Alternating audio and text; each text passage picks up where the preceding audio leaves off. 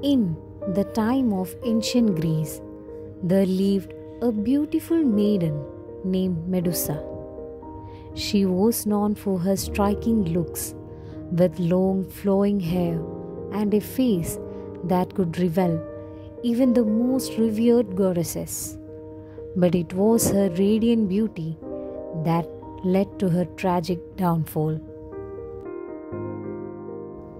Medusa had dedicated her life to serving the goddess Athena as a loyal priestess. Her days were spent in the sacred temple of Athena, tending to the goddess's altar and offerings with unwavering devotion. Her beauty, however, caught the attention of the mighty sea god Poseidon. One fateful day, as Medusa was tending to her duties in Athena's temple, Poseidon's advances grew relentless. His desires consumed him, and he could not be spared. Medusa, caught in a situation and she could neither control nor escape, found herself powerless to resist the advances of a deity. Athena, the guardian of the temple, witnessed the desecration of her sacred space. Enraged by the sacrilege committed within her hallowed halls, she turned her attention to the unsuspecting Medusa. In a burst of divine wrath, Athena punished the beautiful priestesses.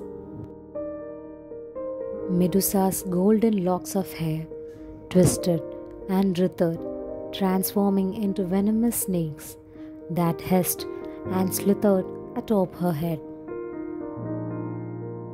Her once lovely countenance twisted into a grotesque visage, and her eyes, which had once captivated the hearts of those who beheld her, now held a dark and terrifying power. Anyone who met her gaze was doomed to be turned into lifeless stone. Athena, in her anger, banished Medusa from the world of mortals and sent her to a desolate, isolated island. The Medusa lived in solitude with her two golden sisters, Stheno and Euryale, both of whom shared her monstrous form. Perseus, the valiant hero of this epic tale, was a mortal son of Zeus, the king of the gods, and Princess Danae.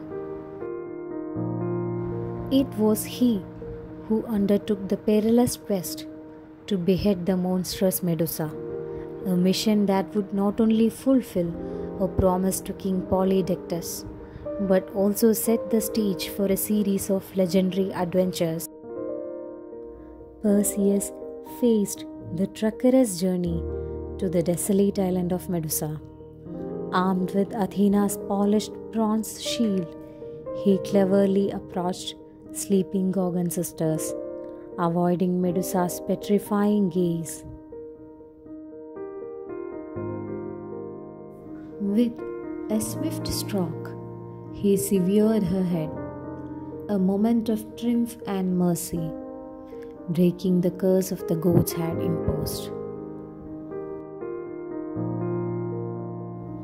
Perseus embarked on heroic adventures with Medusa's head as his potent weapon.